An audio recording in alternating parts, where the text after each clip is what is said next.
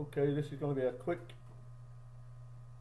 review number three or four, I can't remember, of Pinflux.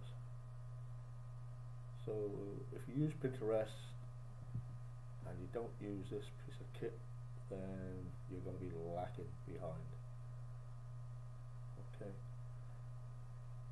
So I'm going to just scroll down and just show you.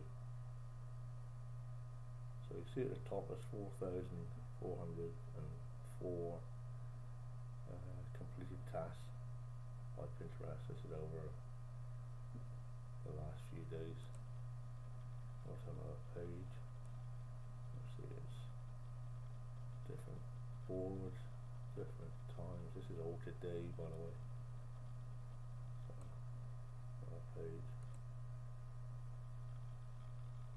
So that was me following on boards. So you see it it does what it says on the box. It's a very good piece of software. And the initial outlay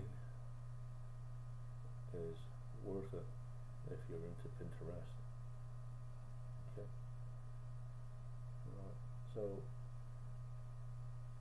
the link will be below the video if you want to look at it. But I would suggest if you use Pinterest, you look at it and see what it can do, and if it can help your marketing, then follow through the links to get the software. Okay, thank you.